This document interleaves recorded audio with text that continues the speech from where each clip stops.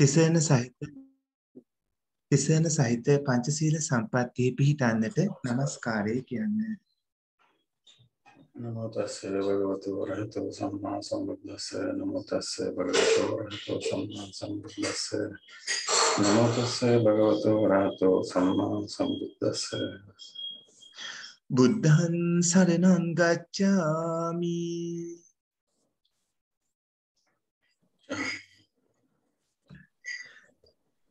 ධම්මං සරණං ගච්ඡාමි. ධම්මං සරණං ගච්ඡාමි. සංඝං සරණං ගච්ඡාමි සංඝං සරණං ගච්ඡාමි. ဒ ුතියම්පි බුද්ධං සරණං ගච්ඡාමි යම් සරණං ගච්ඡාමි. ဒ ුතියම්පි ධම්මං සරණං ගච්ඡාමි. Tiampi Dhamma Saranang Gacchāmi ဒ ුතියම්පි සංඝං සරණං ගච්ඡාමි. Tusiyapi Sanghang Saranang Gacchāmi තතියම්පි බුද්ධං සරණං ගච්ඡාමි. Tatiyampi සරණං තතියම්පි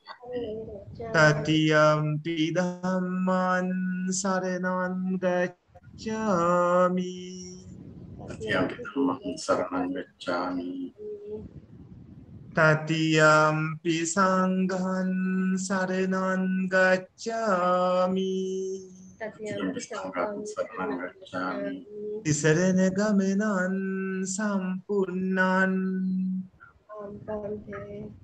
ගච්ඡාමි තිසරණ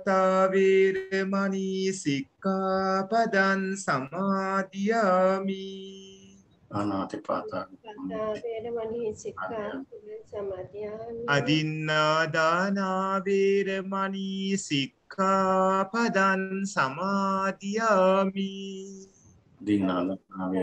සික්ඛාපදං සමාදියාමි කාමීසු මිච්ඡාචාරා වේරමණී සික්ඛාපදං සමාදියාමි විසුමිච්ඡාචාරා වේරමණී සික්ඛාපදං සමාදියාමි මුසාවාදා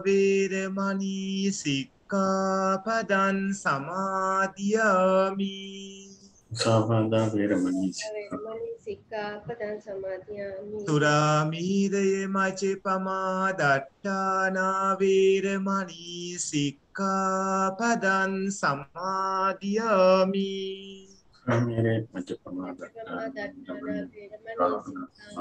සමාදියාමි මේ තිසරණ සහිත වූ සරණ පංචශීලය පංචශීලය. මාර්ගඵල. මාර්ගඵල. නිවන් අවබෝධ වීම පිණිසම. නිවන් අවබෝධ වීම පිණිසම. හේතු වේවා. හේතු වේවා. තිසරණීන සද්දීම් පංචශීලං ධම්මං සාදුකං සුරක්කිතං කତ୍වා අපමාදීන සම්පාදේත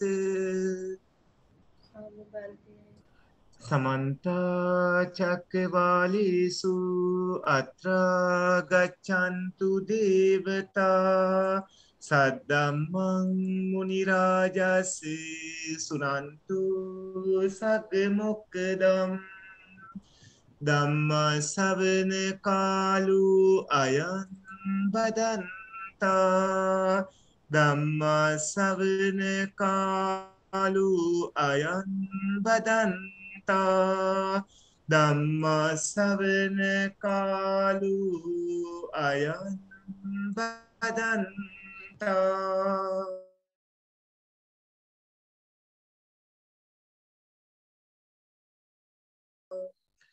නමෝ තස් සම්මා සම්බුද්දස්ස। නමෝ තස් භගවතු අරහතු සම්මා සම්බුද්දස්ස। නමෝ තස් භගවතු අරහතු සම්මා සම්බුද්දස්ස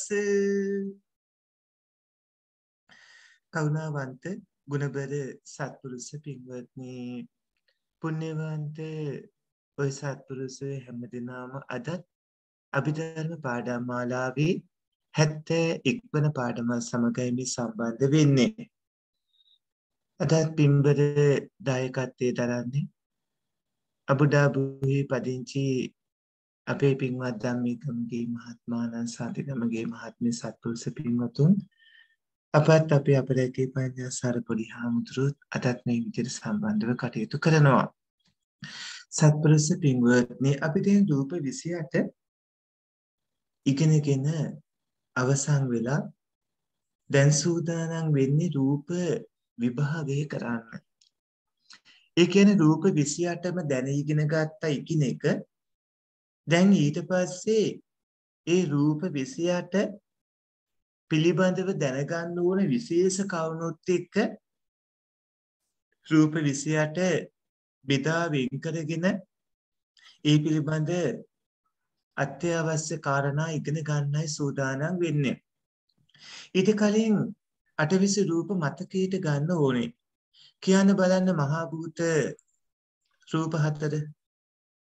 පඨවි ආපෝ පඨවි ආපෝ තේජෝ වායෝ වායෝ ප්‍රසාද රූප පහ. චක්කු සෝත ගාන ජීවහා කාය කාය ගෝචර රූප රූප ශබ්ද ගන්ධ රස ස්පර්ශ ස්පර්ශයේ විශේෂත්වය මොකක්ද මෙතන කියන්නේ? ගණන් ගන්න නැත්තේ ඇයි? ඒක පඨවි. තේජෝ වායෝ කියන භූත රූප තුනම නිසා භාව රූප කීයද? දෙකයි. කියන්න බලන්න. ස්ත්‍රී භාව රූප පුරුෂ භාව රූප ඊට පස්සේ හදේ වස්තු රූපය, ජීවිතින්ද්‍රිය ආහාර. රූපය, ආහාර හාර රූපය. රූප ඊට පස්සේ අපිට අනිස්පන්න රූප 10ක් හම්බුණා. මොනවද අනිස්පන්න රූප 10? ආකාශ ධාතුව කාය විඤ්ඤාතයේ වචී රූප වචි විඤ්ඤාතය ලෞතා මුදුතා කම්මඤ්ඤතාව කාය විඤ්ඤාති වචි විඤ්ඤාති ජනතා අනිච්චත රක්කන රූප හතර අනි උපචේ සංච ජරතා සන්තති ජරතා අනිච්චතා. උපචේ සන්තති ජරතා අනිච්චතා. දැන් රූප විභාගය පෙළ ගන්න අද පත්‍රිකාව රූප විභාගයේ. රූප සියල්ලම ලෝභ දේශ මොහ අලෝභ දෝෂ සමූහ කියන හේතු යෙදෙන්නේ නැති ඒවා හින්දා රූප 28ම අහේතුකයි. හේතු කියන නමින් හඳුන්වන ලෝභ දේශ මොහ අලෝභ දෝෂ සමූහ කියන ඒ චෛතසික හය යෙදින් නැති හින්දායි අහේතුක කියලා කියන්නේ. නැත්තම් වරදවා ගන්න එපා. හේතුන්ගේ නිමිති රූප හටගන්නේ කියලා එහෙම නෙමෙයි. හේතු කියන වචනයෙන් හඳුන්වන චෛතසික හය යෙදෙන්නේ නැති හින්දා. ඒ වගේම තමයි කර්මය සිත උණුසුම ආහාර කියන හේතු වලින් ඒ පත්‍ය වලින් හටගන හින්දා මේ රූප සපත්‍යයි.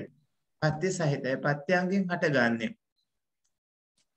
රූපවලට හේතුක කිව්වොත් ඒ ඇයි කියලා දැනගන්නත් ඕනේ. සපත්‍යයි කිව්වහම පත්‍ය වලින් හටගන්නේ. ඒ තමයි කර්ම සිත උණුසුම ආහාර කියන හේතුන්ගෙන් හටගන්නේ ආශ්‍රවයන්ට විසේවන හින්දා සාශ්‍රවයි. ආශ්‍රව හතරක් තියෙනවා කාමාසව, භවආසව, දිඨාසව, අවිජ්ජාසව කියලා. එතකොට ආශ්‍රවයන්ට විසේවන හින්දා සාශ්‍රව වෙනවා. කම්මචිත්‍රිතු ආහාර කියන පත්‍යංගෙන් හටගන්වන හින්දා මේවා හේතුන්ගෙන් හටගන්න හින්දා සංකත වෙනවා. හේතුන්ගෙන් හටගන්න මේ රූප 28. එතකොට මේ කාම රූප අරූප කියන තුන් ලෝකයට අයිති හින්දා ලෝකයෙන් එගොඩ වුන් නැති හින්දා ත්‍රිභූමියට අයත් හින්දා ලෞකික වෙනවා. ඒ වගේම කාම තණ්හාවට විසේවන හින්දා කාමාවචර වෙනවා. අරමුණු ගන්නේ නැති හින්දා අකාරම්මන වෙනවා. සිතනේ අරමුණු ගන්නෙ. සිත තමයි අරමුණුත් එක්ක ඇති වෙන්නේ.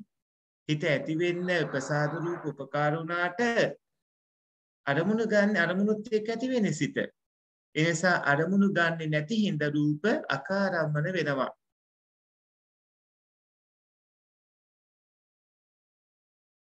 ක්ලේශයන් වගේ ප්‍රහාණය කළ යුතු ඒවා නැති හින්දා අප්‍රහාතව්‍ය වෙනවා.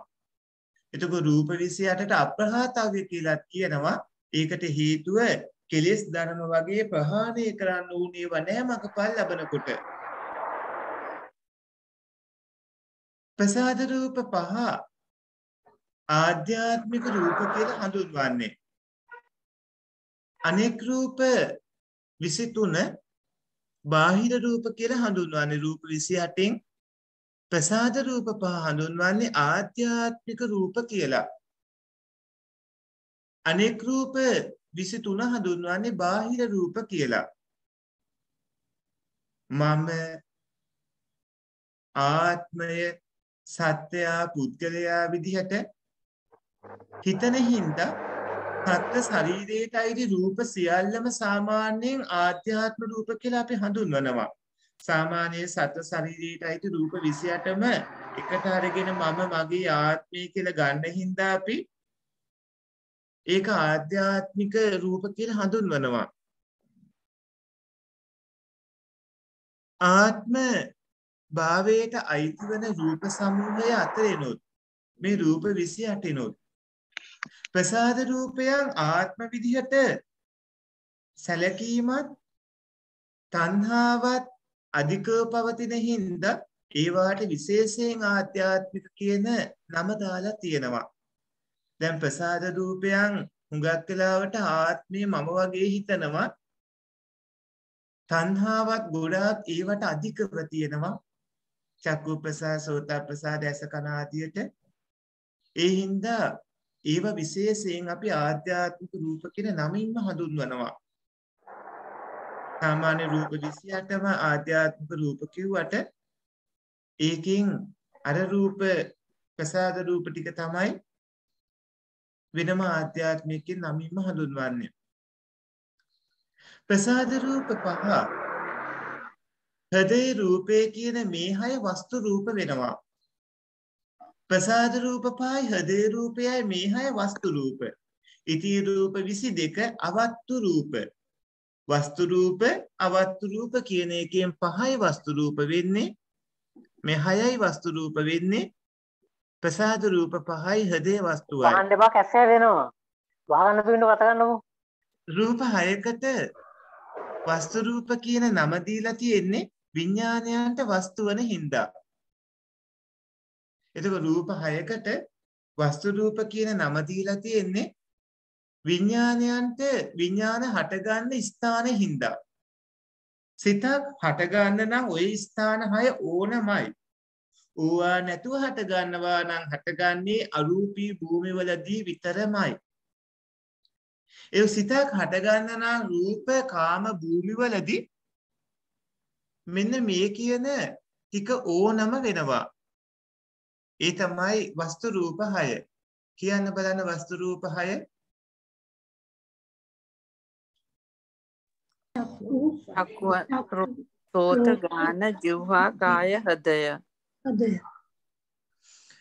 එතකොට ප්‍රසාද රූප පහ විඤ්ඤාප්ති රූප දෙක කියන මේ රූප හත ద్వාර රූප වෙනවා ප්‍රසාද රූප පහයි විඤ්ඤාති රූප දෙකයි කියන මේ රූප හත ద్వාර රූප.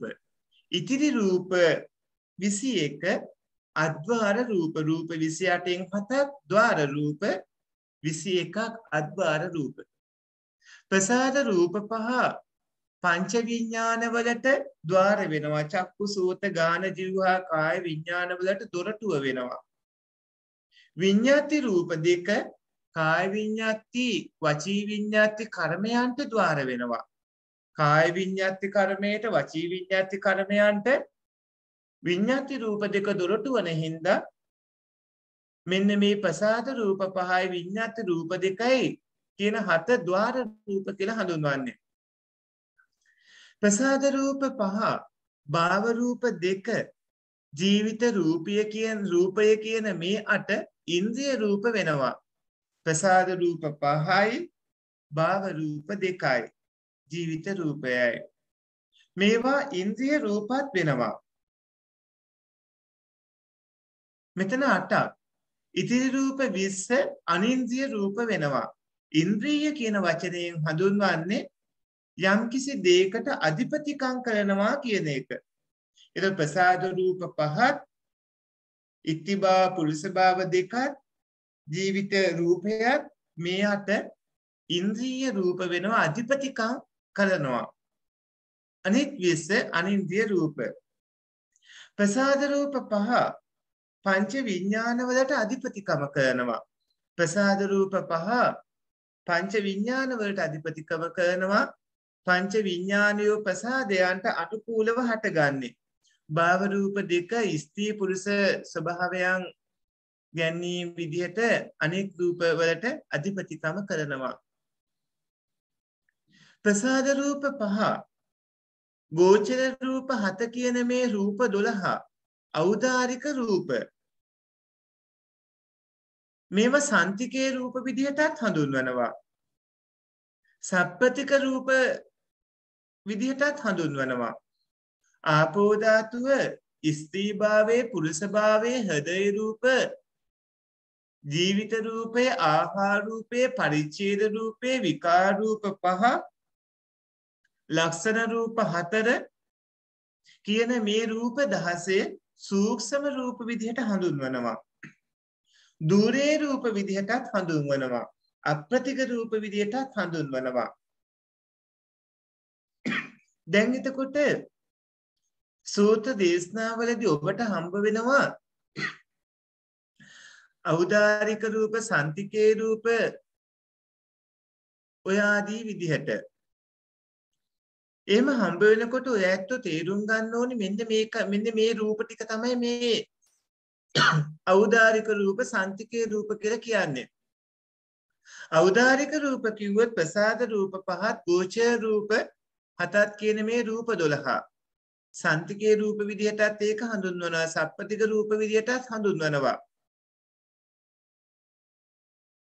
එතකොට ආපෝ ධාතුව ස්ත්‍රී භාව පුරුෂ භාව හදේ රූපේ ජීවිත රූපේ ආහාර රූපේ පරිච්ඡේද රූපේ විකාර රූප පහ ලක්ෂණ රූප හතර කියන මේ රූප 16 සූක්ෂම රූප කියලා හඳුන්වනවා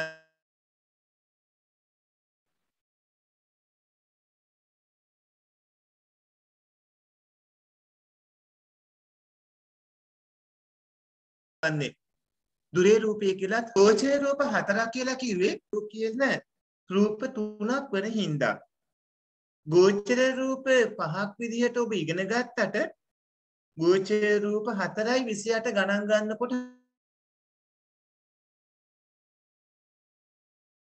හම්බ වෙන්නේ. ඒකට හේතුව තමයි ස්පර්ශය කිව්වහම මේක පඨවි තේජෝ වායෝ කියන රූප තුනක් හින්දා. ඒ තුන අපිට කලින් හම්බ වුණා. ප්‍රසාද රූපත් විසේ රූපත්. ඔවුනොවුන් ගැටෙන හින්දා ඖදාරිකයි. ප්‍රසාද රූපත් විසේ රූපත්. චක්කු ප්‍රසාද රූපය. සෝත ප්‍රසාද ශබ්දය. මේ විදිහට ප්‍රසාද රූපයි විසේ රූපයි ඕනෝන් ගැටෙන හින්දා ඖදාරිකයි. ඖදාරිකයි කියන්නේ සියුම් නොවන හින්දා. සියුම් නොවන ගොරෝසු හින්දා තද හින්දා ඖදාරික කියලා කියන්නේ. සන්තිකේ රූප කියන වචනේ තේරුම ළඟ ඇති රූප කියන එක. සන්තිකේ රූප කියන්නේ ළඟ තියෙන රූප කියන එක. ප්‍රසාද රූපත් ගෝචර රූපත් අවදාරික හින්දා පහසුවෙන් දැනගන්න පුළුවන්. ඒවා දුර තිබුණත් ළඟ තියෙනවා වගේ. ඒවාට සන්තිකේ රූප කියන නම දීලා තියෙන ඒ හින්දා පහසුවෙන් දැනගන්න පුළුවන් දුර තිබ්බත් ළඟ තියෙනවා වගේ. ඒවාට සප්‍රති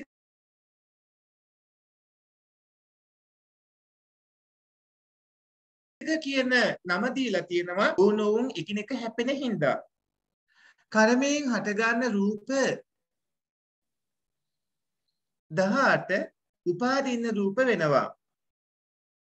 කර්ම චිත්ත ඍතු ආහාර කියන මේ හේතුන්ගෙන් හටගන්න රූප ගත්තාම ඒවා උපාදින රූප වෙනවා. ඉදී රූප 10 අනුපාදින්න රූප වෙනවා. කර්මයෙන් හටගන්න රූප මොනවද කියලා ඔය ඇත්තන්ට අපි දැන් ඊළඟට උගන්වන පාඩම් වලදී විස්තර කරලා දෙනවා මේ කර්මයෙන් හටගන්න රූප සිතින් හටගන්න රූප උණුසුමින් ආහාරයෙන් හටගන්න රූප මේ හතරෙන්ම හටගන්න රූප ඔය ආදී විදිහට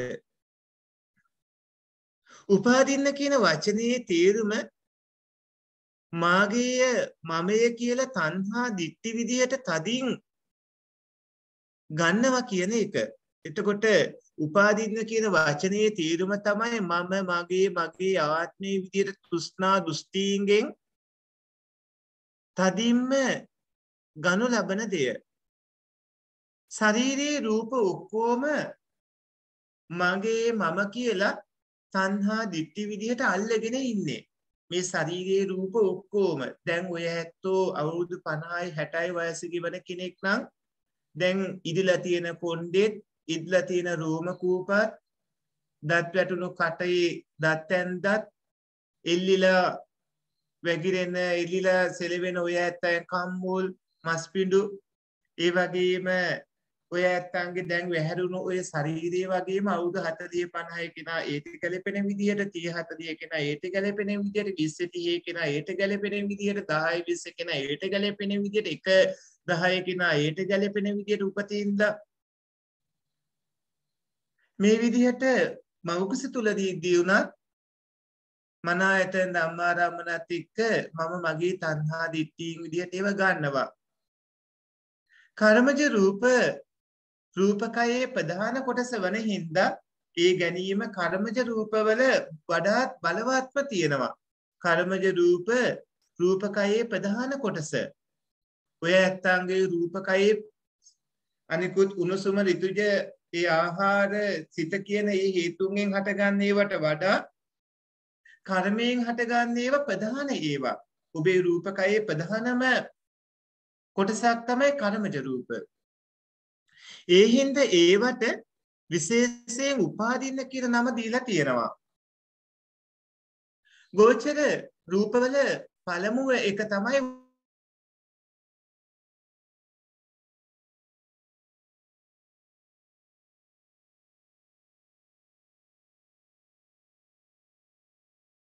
වාන රූපය. ඒ වානයක තේරුම පෙනෙන රූපය කිසන රූප පෙනෙන රූප එකයි තියෙන්නේ. ඉතිරි විසි හතම අනිදස් රූප පේෙන් නැති රූප. ඒකැන පෙනීමල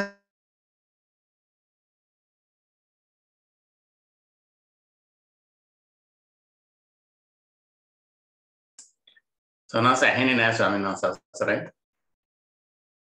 රූප කියලා හඳුන්වන්නේ. රූප, ශබ්ද, ගන්ධ, රස, ස්පර්ශ කියන මෙන්න මේ අරමුණු ගන්න හින්දා චක්කු ප්‍රසාද, සෝත ප්‍රසාද, ගාහන ප්‍රසාද, જીවහ ප්‍රසාද, කාය ප්‍රසාද කියන මේ ප්‍රසාද රූප පහ ගෝචරග්‍රාහික රූප කියලා හඳුන්වන්නේ.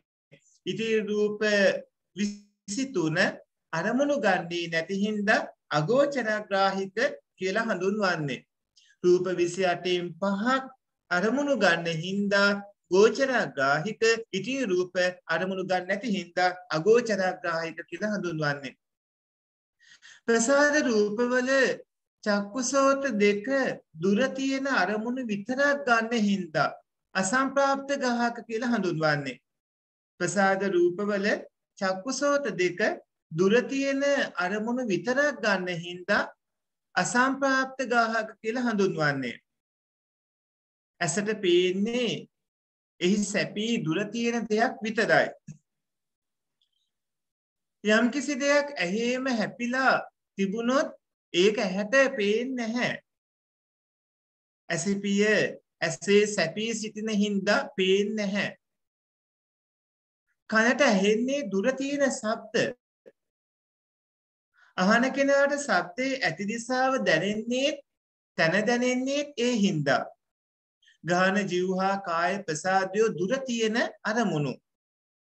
ගන්න සමත් ඒවා නම් නොවන බවත් තේරුම් ගන්න ඕන.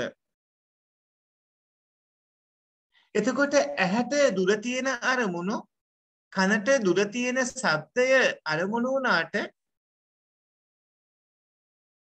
ගාන ජීවහා කාය කියන ප්‍රසාද රූපවලට ළඟ තියෙන අරමුණු තමයි ගන්න පුළුවන්කම තියෙන්නේ. ළඟ තියෙන අරමුණු ගාන ප්‍රසාදය ජීවහා ප්‍රසාදී කාය ප්‍රසාදී කියන ප්‍රසාද රූප ටිකෙන් ගන්නවා. වර්ණ ගන්ධ රස ඕජා කියන හතර භූත රූප හතර කියන මේ රූප අට එකිනෙකාගෙන් වෙන් කරන්න බැහැ. රූප කලාප විදියට ගත්තාම කලාපයක මේ අට තියෙන්නම ඕන. එතකොට එක රූප කලාපයක සුද්දාස්තක කියලා හඳුන්වන්නේ මෙන්න මේ අට. පටවියාපෝ තේජෝ වායෝ ඒ හතරේ එකතුව නිසා ඇතිවන වර්ණයේ ගන්ධයේ රසයේ ඕජාව කියන ඔන්න ඔය සුද්දාස්තකයෝ එකිනෙකාගෙන් වෙන් කරන්න බැරි විදියට හැම රූප කලාපයකම තියෙන හින්දා ඒවා හඳුන්වන්නේ අවිනිබ්බෝග රූප කියලා. ඉතිරි රූප 20 හඳුන්වන්නේ විනිබ්බෝග රූප කියලා. එතකොට අවිනිබ්බෝග රූප කියලා හඳුන්වනවා මේ ටික විනිබ්බෝග රූප කියලා හඳුන්වනවා ඉතිරි රූප 20. මේ විදිහට ඔය ඇත්තෝ ඒ ටික හොඳට තේරුම් ගන්නට ඕන. පින්වත්නි අද දවසේ එපමණයි ඔය ඇත්තන්ට කියලා දෙන්නේ. ඒ වගේම පවතින විදුලි විසන්ධි වීමේ කවුන හින්දා අද තවදුරටත් වැඩසටහන් පවත්වන්න නැහැ. ඔය ඇත්තන්ට මං හිතන්නේ හොඳටම තේරෙන්නේ නැති මේ ටික අපි අහේතුක සපත්‍ය සාස්ත්‍රව සංකත ලෞකික කාමාවචර අකාරම්මන අපහාත අවි ආධ්‍යාත්මික බාහිර වස්තු රූප අවත්තු රූප ద్వාර රූප අද්වාර රූප ඉන්දිය රූප අනින්දිය රූප ඖදාරික රූප සන්තිකී රූප සූක්ෂම රූප දුරී රූප අප්‍රතිග රූප උපාදීන රූප අනුපාදීන රූප සනිදස්සන රූප අනිදස්ස රූප ගෝචරග්ගාහික රූප අගෝචරග්ගාහික රූප අසම්ප්‍රාප්ත ගාහක රූප අවිනිර්භෝග රූප විනිර්භෝග රූප ඔය නම් වලින් කිව්වොත් මේ මොන රූපද කියලා තේරුම් ගන්න තරම් ඔබට හැකියාව ඇති කර ගන්නට ඕන. හොඳයි පින්වත්නි. එහෙමනම් පවතින ඒ අයහපත් ස්වභාවය නිසා අපි මේ විදුලි විසන්ධීම ආදී කවර නිසා මෙතකින් වැඩසටහන අවසන් කරනවා. ඔබ හැම දෙනාම රැස් කරගත් පුණ්‍ය ධර්මයෝ මිය ගිය නෑදෑයිනට අනුමෝදන් වේවායි කියලා සාත්නාදයක් පවත්වන්නේ. සාදු සාදු සාදු ඉලියන්ට මේ පින් අනුමෝදන් වේවායි කියලා සාත්නාදයක් පවත්වන්නේ. සාදු සාදු නිවන් දකින්නට මේ පින් හේතු සම්පත් වේවායි කියලා සාත්නාදයක් පවත්වන්නේ. සාදු සාදු. සාදු ඔබටයි අපි මේ ආශිර්වාද කරන්නේ අපේ පින්වත්. අපේ ඉති පඤ්ඤාසාර පොඩි හාමුදුරුවෝ ඇතුළු කාර්යමය දේශනට පින්වත් අපේ ධම්මික ගමගේ මහත්මාලා සාධිකමගේ මහත්ම දායකත්වයට දරුව පින්වත්වන්ට විවිධ රටවල් සිටිනමින් අපි තරම ඉගෙන කියාගෙන ඔබේ ප්‍රඥා පාරමිතාව සම්පූර්ණ කරගනිමින් සිටින ඔය සදහැවතුන් සැමට තුනුරුවන්ගේ සරණින් නිදුක් නිරෝගී දීර්ඝායුෂ ලැබේවා. අභිවාදන සීරිස් නිච්ඡං වද්දා පචායිනෝ චත්තාරු ධම්මා වට්ටන්ති ආයුවන්දු සුඛම් බලං ආයුදාරෝග්‍ය සම්පatti සග්ග සම්පatti මේ වෙචේ අතු නිබ්බාන සම්පatti මිනාති සමිච්චතු සාදු සාදු සාදු. අප සියලු දෙනාම ස්වාමීන් වහන්සේලා වන්දනා කරමු. ස්වාමීන් වහන්සේලාට අප අතින් යම් මොනියම් මහා ආකාරයක අවතක් සුදුනන් ස්වාමීන් වහන්සේලා කමා කරවා ගනිමු. අප රැස් කරගත් සීල කුසල් ස්වාමීන් වහන්සේලාට අනුමෝදන් කරමු. ඒ සඳහා කාලය ඉතුරු කර ගැනීමට අප සියලු දෙනාම එක්වරම සාදුනාදයක් පවත්වා. ස්වාමීන් වහන්සේලා ආරාධනා කර සිටිමු. අප සියලු දෙනාගේම පින් අනුමෝදන් ලෙසට. සාදු සාදු සාදු. හොඳයි පින්වත්නි. මේ උප තාක්ෂණික උපකරණ වල බැටරි බහිය කියන බයට ඉක්මනින් අවසන් කළේ. එන හැම දිනකටම තෙරුවන් සරණයි. තෙරුවන් සරණයි. ස්වාමීන් වහන්සේ. සරුව සරණ සරණ